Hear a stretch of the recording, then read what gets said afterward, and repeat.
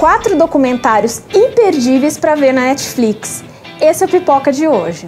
Foi-se o tempo em que documentário era sinônimo de filme chato e sonolento.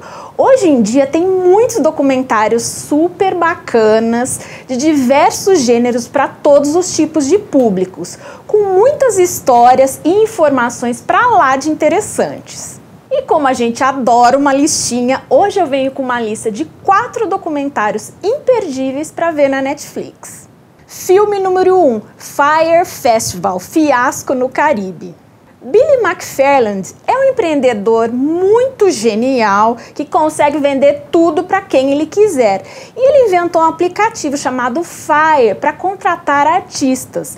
E para promover esse aplicativo, ele inventou de dar uma baita festa para 6 mil pessoas numa ilha das Bahamas que era do Pablo Escobar um lugar quase deserto com muito pouca infraestrutura. Ele mirou um público super endinheirado, louco para ostentar, para tirar selfies maravilhosas para postar nas redes sociais. Fez um trailer, uma propaganda dessa festa maravilhosa com mulheres lindas, aquela areia branquinha, águas azuis, bangalôs de luxo, tudo muito luxuoso. E vendeu todos os ingressos em poucas horas. Só que essa festa na Babesca acabou num desastre épico. Desastre esse que é contado no documentário Fire Festival Fiasco no Caribe. O filme se divide em vários depoimentos dos envolvidos na festa, dos que trabalharam no marketing, dos moradores da ilha que trabalharam à exaustão sem receberem um centavo e também imagens de arquivo dos turistas chegando na ilha, chegando lá e dando de cara com o quê? Com nada, com umas barraquinhas muito michurucas e para comer um sanduíche de queijo muito do ruim. O clima do documentário é de tensão pura e muito constrangimento, porque à medida que o dia da festa vai chegando, nada tá pronto, o dinheiro tá acabando e tá tudo vazio. E quando chega o dia da festa, tudo vira um caos.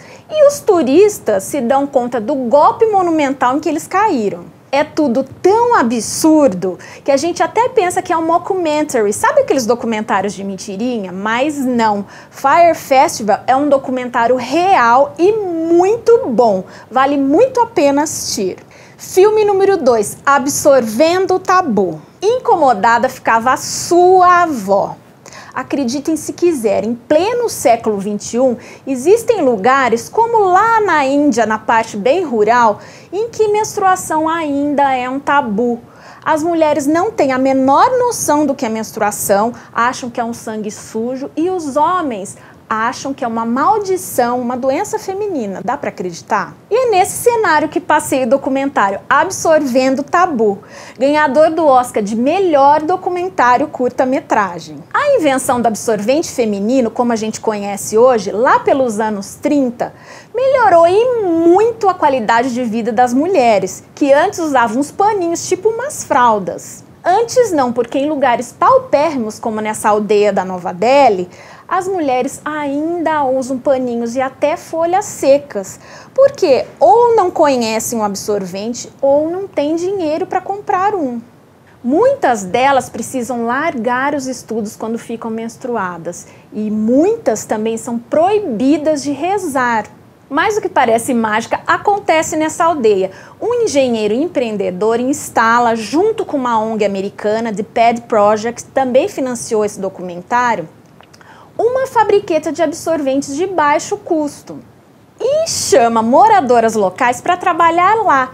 Elas ajudam na produção, divulgação e venda. E acontece uma verdadeira revolução na vida dessas mulheres, porque além de conhecerem e terem acesso a um absorvente barato, elas começam a ganhar um dinheirinho pelo seu trabalho e acabam ganhando uma independência, claro, é, realizando sonhos, fazendo planos. E isso é uma super exceção na Índia, onde a sociedade é patriarcal, machista e opressora. Ser mulher lá parece quase que um castigo. Esse documentário tem 26 minutos e nos faz refletir o quanto ainda é preciso lutar pelo avanço dos direitos femininos ao redor do mundo. Absorvendo o Tabu é um documentário imperdível e está lá na Netflix. O Saving Banksy. Ano passado, o mundo das artes e o resto do mundo todo ficou de queixo caído quando o quadro A Menina com Balão se autodestruiu. Foi literalmente picotada depois de ser leiloada por um milhão de libras em Londres. Deixando todo mundo ainda mais intrigado com o autor da tela, que hoje é considerado o novo Andy Warhol. Banksy é um artista de rua americano, um grafiteiro, é o mais conceituado e valorizado hoje em dia e também o mais misterioso, porque ninguém conhece sua identidade. Identidade essa que é motivo de muitas especulações. Ninguém sabe se ele é homem, mulher, um anônimo, um artista. É um grande mistério. Em 2010, o Banksy fez um tour por São Francisco e grafitou muitos muros por lá. Só que a prefeitura manda uma notificação para os donos dos muros. Vocês têm que pintar esses muros, senão vocês vão ser multados. Foi aí que o colecionador de arte Brian Griff resolveu salvar as obras, resgatá-las, removê-las dos muros e doá-las para o museu, em especial uma obra chamada O Rato Socialista. A trama do documentário Saving Banks gira em torno do resgate dessa obra e também sobre a discussão a quem pertence a arte de rua.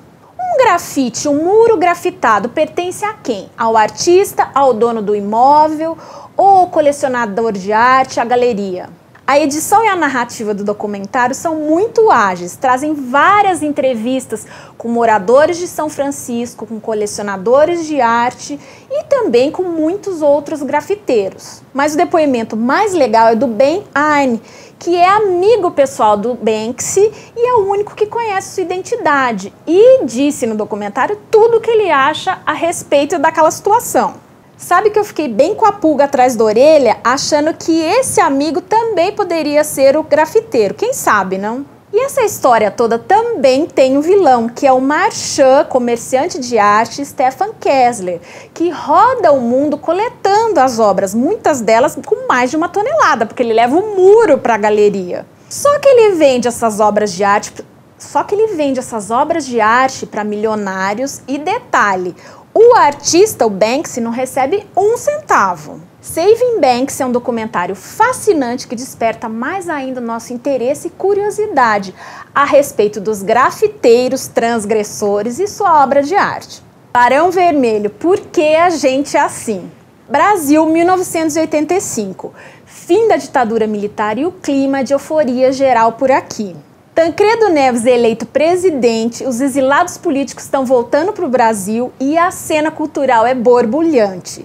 É o boom do rock nacional e foi nesse cenário que surgiu a banda Barão Vermelho. História essa contada no documentário Barão Vermelho, porque a gente é assim que mescla o momento político, histórico e cultural com o nascimento e a ascensão de uma das bandas mais famosas do país. A banda surgiu da união do Cazuza, garoto rico da Zona Sul, muito porra louca, com Roberto Frejá, que era meio nerd, usava aparelho, óculos. A primeira metade do filme tem um ritmo muito louco, assim como era a vida deles. Eles passavam o dia na praia fumando baseado, escrevendo músicas e ensaios. Eles nunca imaginavam que fariam tanto sucesso que iria virar profissão deles vemos depoimentos dos integrantes da banda, dos familiares, imagens de arquivos, ensaios, de programas onde eles iam tipo Raul Gil e Chacrinha. A gente também vê mudanças de estilo da banda que começaram com rock popzinho,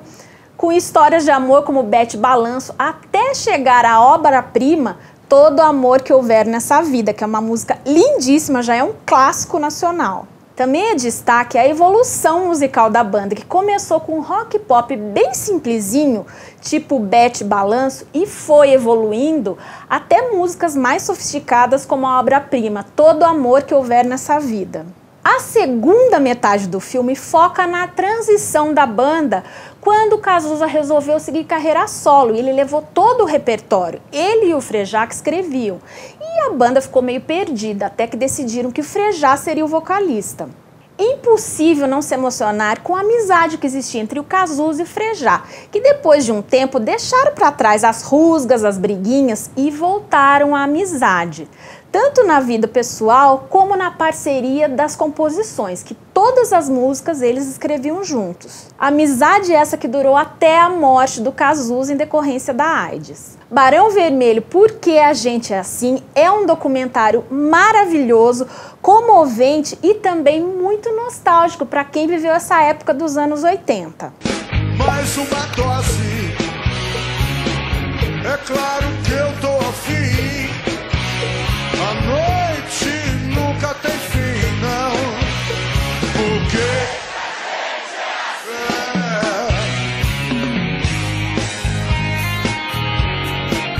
vocês tenham gostado dessa lista. Semana que vem tem mais pipoca. Um beijo e até lá!